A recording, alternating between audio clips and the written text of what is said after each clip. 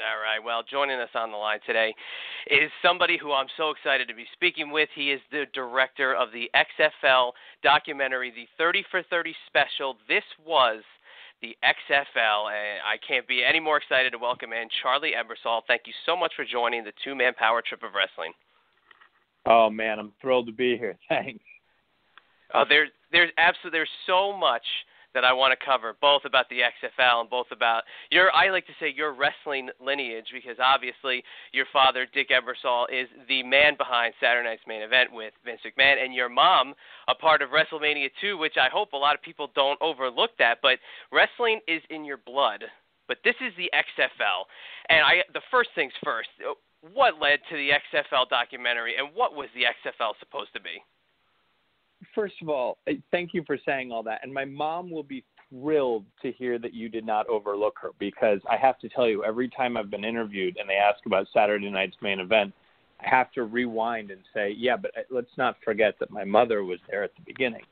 Um, yeah, no, this documentary, ESPN and I had been talking for years about how to do a documentary uh, about uh, my dad or you know something around sports, given you know what I'd grown up around with my father running NBC Sports for so long. And when they came to me and said, "What about the XFL?" I jumped at it because for two reasons. One, I desperately wanted to make a film about my father and Vince McMahon's relationship because I knew no one else could or would. Um, and two, the XFL is really the only time I really ever saw my dad and Vince, for that matter, really fail.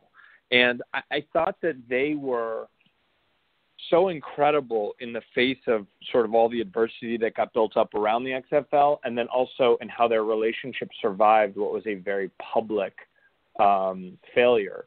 Uh, were, was great fodder for a film, and I really, really, really wanted to show a different side of Vince. I was, I'm exhausted fighting people who have sort of the wrong impression about him, and I thought a film would be a great opportunity to at least bring it to life.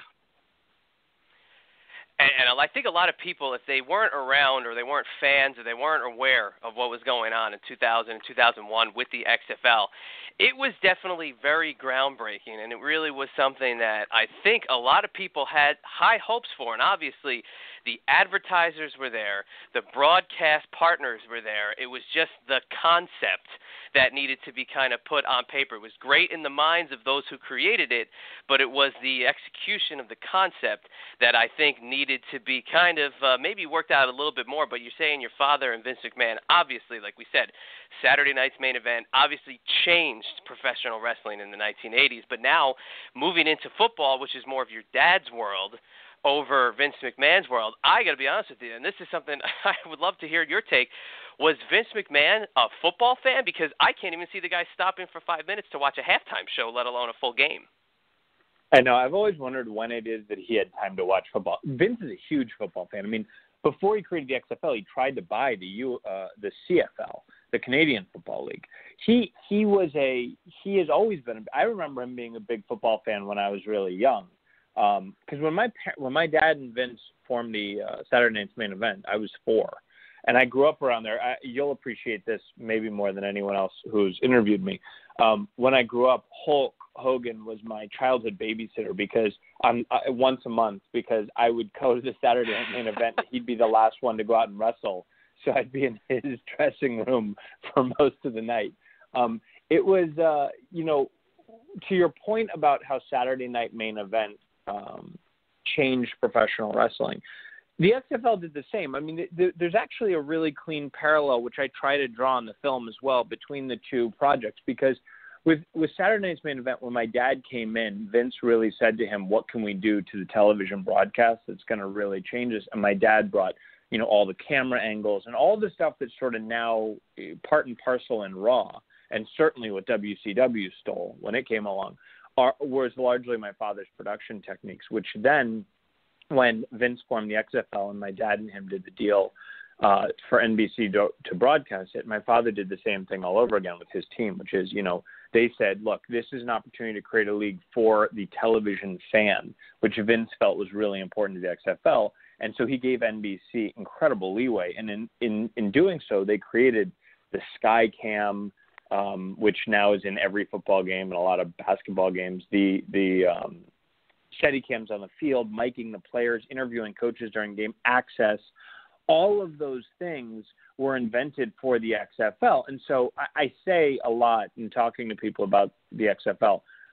Vince is the greatest promoter and one of the greatest marketers of his generation, or really any generation. My dad is arguably one of, if not the most influential and successful sports producers of all time. So they understood broadcast through my dad, and they understood live event and promotion through Vince. And NBC had the most powerful marketing arm in all of television at the time. So they had all that locked up. What they didn't have is they didn't have a football expert. The people they brought in who ran operations for the XFL were guys who had worked at the NFL who wanted to work at the NFL again, and so they were not going to buy into Vince's bigger image, uh, excuse me, bigger vision of what the league could be. And so, you know, the idea of no fair catch was about the only thing that made it through, and even that had all kinds of restrictions on it. And so, when the game actually got played and the audience saw what what they'd been marketed, uh, was not, in fact, what was happening on the field. You know, you get that first rating that first night, which was insane. It was the biggest rating in 15 years on a Saturday night, um, which you know the biggest rating, frankly, since Saturday Night's main event on a Saturday night. And then, you know, the second rating falls off a cliff. It's because that football product, to your point, was conceptualized very well, but not executed well at all it's crazy because the energy in that pregame and in that introduction in the first game is off the charts. And I actually have the first game on tape somewhere buried because I'm a huge Opie and Anthony fan, and I heard your interview with Opie, and we'll get to that later. But I'm a huge Opie and Anthony fan, so I recorded the pregame show and had the first show, and still do, somewhere on a VHS tape. So I remember the energy. Specifically, you had Vince come out, you know, with his smash mouth ball and the XFL leather jacket, and then you have The Rock come out and cut a rock promo in front of a football crowd and in Las Vegas. Kind of questionable. What are you going to do? But you felt the energy in the crowd. You felt the excitement, and then when you had the opening kickoff or chase or whatever they wanted to call it to to kind of grab the ball, they almost like they killed a man with the ball, uh, you know, style of uh, kickoff. Um, you kind of felt as the game went on, it started to, you know, kind of lose a little bit of steam. But I look at the television broadcast side of it as being a TV guy. I look at the television broadcast side that says, look, you have WWE slash F level production, NBC level production, and then the affiliates and partners that were a part of it. Key factors in the XFL's image is that how it was portrayed to the television audience. And do you think that that's something that kind of lost and got lost in translation was the television audience versus who you're playing for in front of, you know, 15, 20,000 people? Yeah, there's no question because they sold a million tickets to the first season of the XFL. Five of the eight stadiums were sold out for the whole season. So this was not like uh, this was not like the league was you know wildly uh, w- excuse me was a failure to the people going to the games. I mean, the Memphis Maniax fans were the Memphis Maniax fans from day one. The challenge was the television audience, and here's the thing: the, the, look, the football operations weren't great. They did not. They did not give the teams. First, the teams only had 28 days to practice, so right out of the gate, they sort of screwed the teams um, in their ability to uh, they screwed the teams in their ability to get them up to speed to play on professional tele, uh, on on uh, broadcast television. But the second thing is they made a critical error, which is they only had two preseason games, and they used those preseason games to determine what their first game would be. And so the first game that got played was originally meant to be the game between the Orlando Rage and the Chicago uh, enforcers. And at the last minute, about two weeks before kickoff of the season, they decided to uh, switch to the Vegas game because in a scrimmage, the New York team had looked really good. Well, as it turned out, the New York team was absolute crap, and they got demolished on national television and only had like 34 yards of total offense in the first half. So it was, you know, not only was the game, the play not great, but they decided to go with a crappy game as opposed to the Orlando game, which it turned out was like 33 to 29 and was a remarkably good game. It, it's crazy, and that's you know of course one of the things that'll fall into the the failure column. But I, I kind of don't like sometimes the parody that's used in the XFL because it was such a, a creative vision, and I know Vince McMahon would go on to kind of make light of it uh, with Craig Kilborn, you know, a few years afterwards, which is hilarious uh-huh, if anybody uh-huh. can go find it. But if you look at the personnel from the television perspective, and you have the reuniting not only of your father and Vince, but you also have Jesse the Body coming back on board. You had Brian Bosworth. Bob Golic, Jerry Lawler was involved, good old JR, and Craig DeGeorge, an old WWF announcer, involved. How much of that played into what the brand of the XFL or what the uh, the kind of stylized look of the XFL was all about? Those guys specifically with their Entirely. personalities. Entirely, because if you go back and look at Saturday night's main event, and then you look at the XFL, so much of it is there. The only difference is, and this was something that I don't think my father really was fully in aware of when he stepped back in the ring with Vince is this is smack dab in the middle of Attitude Era, right? So so all of that stuff that my father was used to, the like, you know, pray and eat your vitamins, that obviously had given way to, you know, D-Generation X and The Rock and, and Triple H, et cetera. And so I think there was an edge to the XFL that that the WWE, excuse me, the WWF of the 80s didn't really have. You know, the Iron Sheik was not telling people to suck it. Um, and so I Hmm. think that that I think that that added an element that was sort of unexpected.